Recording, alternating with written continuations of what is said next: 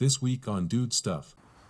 Right guys, what's going on? So today I'm doing an e-bike review from a company called eGlide. This is the M1 Plus. Now, I don't always get super excited when people send out 250 watt mountain bikes because I do so many e-bikes.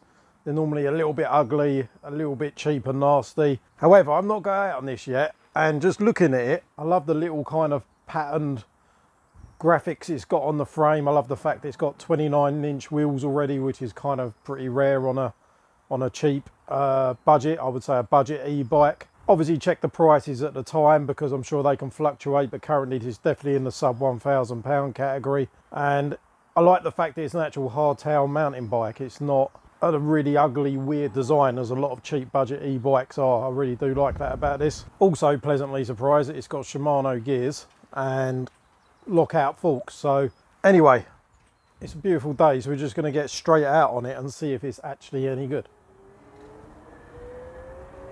Very smooth. Right guys, so welcome to the review of the E-Glide. I think it's M1 Plus. It looks a bit like MI on the frame, but I'm sure it's M1 Plus. Anyway, it's very windy today, so hopefully it's coming out all right. Got the microphone down my jacket just to try and protect the wind noise a little bit. I mean, I'm a couple of miles in now. I've only just started recording and already I'm quite impressed. It, it rides pretty, pretty well. It rides pretty nice. Smooth, it feels like a normal hardtail mountain bike. All the ergonomics of brake levers are in a nice position and feel good. Obviously I'm a fan of like mountain bike style bikes, the ergonomics of a mountain bike.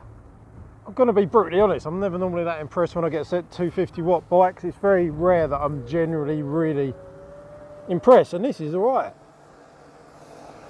So what are you getting for your money? It's like in the sub 1,000 pounds UK money category, you're getting a hardtail mountain bike that's going to suit anyone from five foot four to just over six foot. 29 inch wheels, disc brakes. Yeah, it might not be the fastest thing in the world. You can't expect that for the money at 250 watt. But actually, when I say not fast, I mean, I don't know if there's a way to unlock this bike for off-road use, but um, it gets up to 15, which isn't bad for pottering around town pretty damn quick. It's actually quite sprightly. It feels almost a bit more like a 500 watt to be fair which to be fair it probably does peak at about four or 500 watts when you initially accelerate but it's limited to 15 miles an hour. I like the paint scheme. It almost looks like almost looks like a Gucci style pattern on the frame.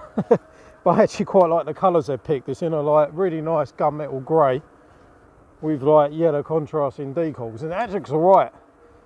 I mean quite often some of the bikes you're getting from the cheap e-bikes you get normally from China have got dodgy names, dodgy uh, styling and dodgy paint jobs and stuff. But uh, yeah, it looks nice. It's like a matte grey finish with black and yellow details, which is a nice colour combination. It actually looks pretty decent. It's got Shimano gears, so they haven't skimped out on the cheapest gears. It's got Shimano 21 speed, I believe weight wise it's not terrible. It's uh, pretty decent. 21 kilos I think as well the weight. I believe they've upgraded this model recently and they've put what are the forks? I don't know if they're branded. They look suspiciously like the, the better model Suntours slightly better model Suntours. They're probably wrong but they they're that kind of style.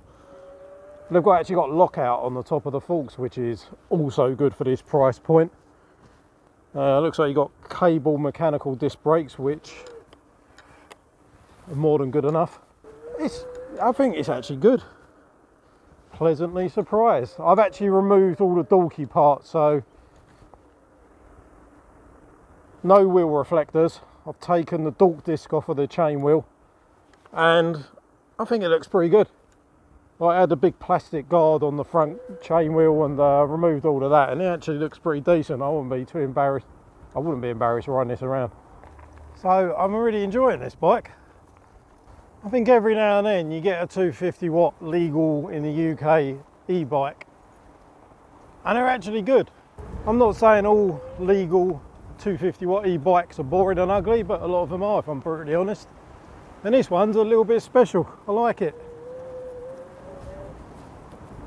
Currently over Hadleigh Mountain Bike Park. Giving it a little bit of light off-road use.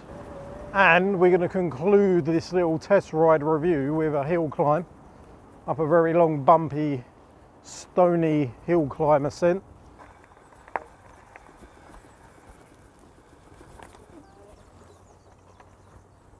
Absolutely gorgeous over here today. Tad on the windy side, hope the microphone's coming out nice and clear. I'm just impressed with the spec because you get a lot for your money. It's definitely in the sub 1,000 pound category. I think the RRP used to be 1200 on this, but I'm pretty certain it's currently listed. Double check for yourself, I think it's listed at about 850 pound on the E-Glide website.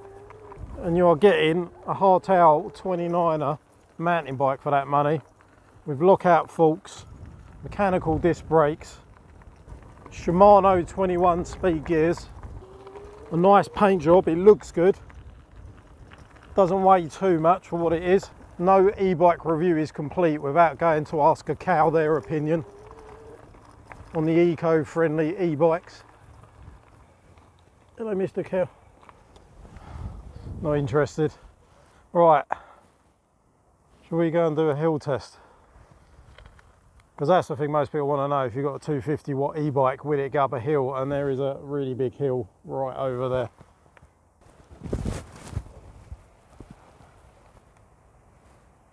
there. How you doing, buddy? How you doing, buddy? You want some grass? You want some grass? All right. Oh my god, my camera's falling down already. Right, I'm gonna have to make the uh, selfie stick as short as possible to prevent it falling off. Sorry if this is a super zoomed in view right now. It's the only way the camera's gonna stay put. Right, massive hill in front of us. Let's get some speed up into top gear. Flat out, or say flat out, it's actually just stopped at 15 miles an hour.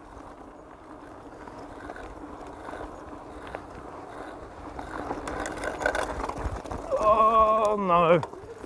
Oh no, the electric's kicked in. The electric's kicked in. Come on. Oh, gears slipped. No. All right. Foul. Oh well. It is a big hill, so we can forgive it. We'll forgive the E-Glide. No one's going to be going up a hill this big. It's unlikely. On your average hill it's going to be absolutely fine. Uh,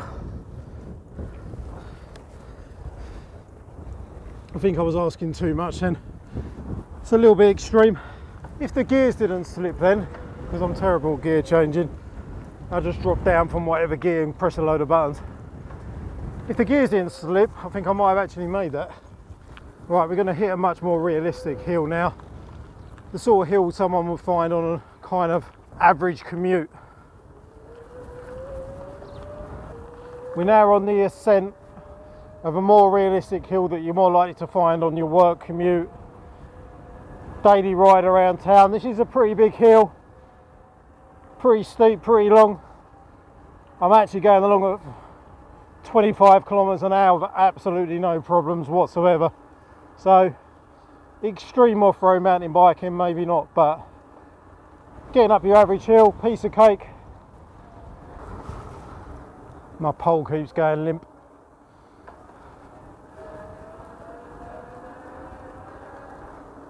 You get some funny looks riding around with a big pole hanging out the front of you. Right guys, so that concludes the review of the E-Glide M1 Plus 29er. I think for someone who's on a budget, this is absolutely great. You can go around everywhere at pretty much running, flat out running speed without using too much effort. Like the fact that it's got Shimano gears, it looks like a normal mountain bike.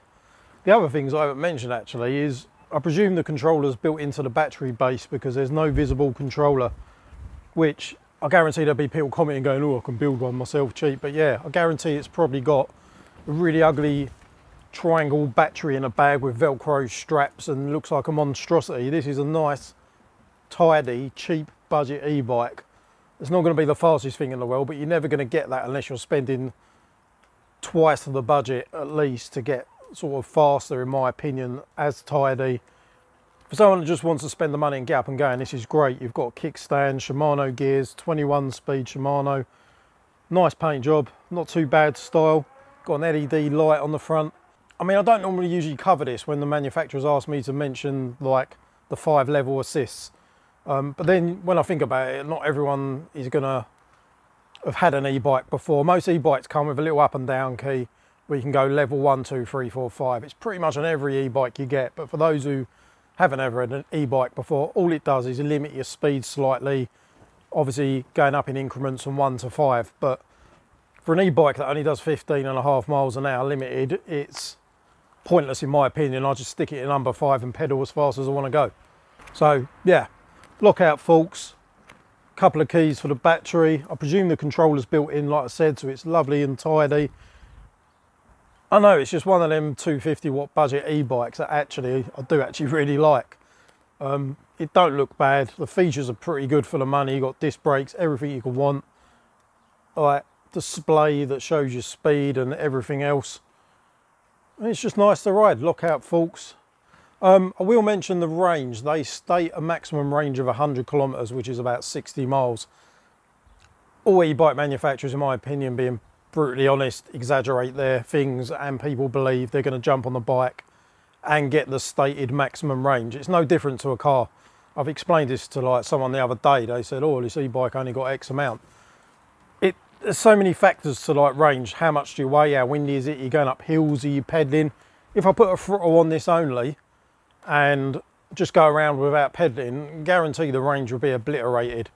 Like it's no different to having a heavy foot in a car. You can have a car that does 55 miles a gallon, but you jump in it and floor it everywhere and you're only going to get 20, 25 or something like that. You know, e-bikes are no different. There's so many factors to it in reality, you ain't going to get 60 miles. I don't even need to do that on this to test it. But it should have pretty reasonable range. It's got a very average, uh, pretty standard, I think it's 13 and a half amp hour battery. Um, that's about your normal, that's what you get your range out of the amp hours on the battery. Pretty much standard. You're not going to get 60 miles, I can guarantee that, unless you are pretty much doing all the pedaling on flat ground or you know, riding extremely conservatively. In the real world, you're not going to get that, but that doesn't take away from the fact I do recommend this bike. It's actually pretty decent. Uh, I'm going to leave all the links in the video description for it, for eGlide and their website. If there's any, if there's any discount codes, I'll add them. Um, check out the video links and definitely consider buying one if you just want something that will get you up and running, no messing about with DIY kits. Yeah, definitely recommend it. Thanks for watching guys, I'll see you in a video soon.